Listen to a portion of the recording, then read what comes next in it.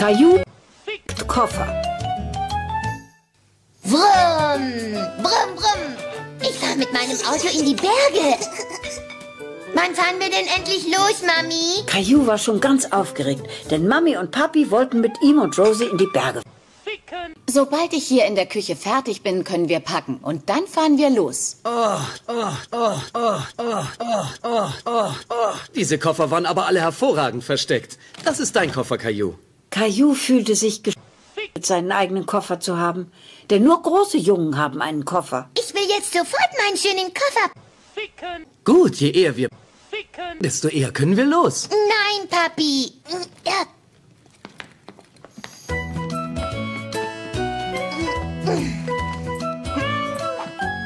So ein Verschluss ist manchmal schwer zu... Hier, Caillou staunte, wie der Koffer innen aussah. Da gab es eine Menge. Scheiße! Er konnte es gar nicht erwarten, seine Sachen in den Koffer zu packen. Brumm, brumm, brumm. ich gehe gleich noch mal los. Es wird nicht lange dauern. Wenn ich wieder zurück bin, helfe ich dir beim Koffer. Aber du musst dich beeilen.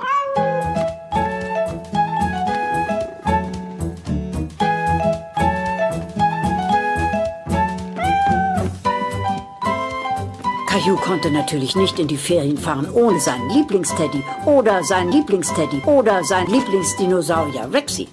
Caillou hatte das Gefühl, etwas Wichtiges vergessen zu haben. Aber was nur? Sein Lieblingsdinosaurier Rexy. Caillou. Guten Tag heißt es hier. Da ist kein Platz mehr. Caillou wusste nicht, was er tun sollte. Er sah keine Möglichkeit, all seine Sachen in dem Koffer unterzubringen. Er, ähm, einfach nicht mehr zu.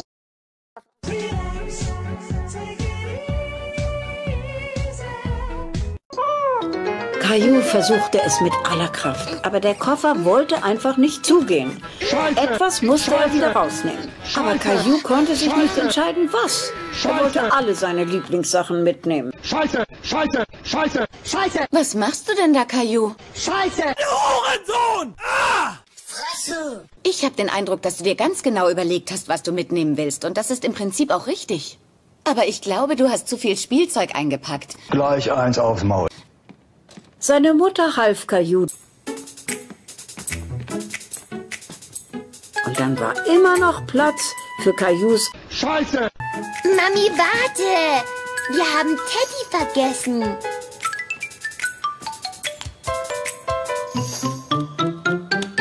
Wir das wirklich alles mitnehmen? Ist das nicht zu viel für nur ein Wochenende?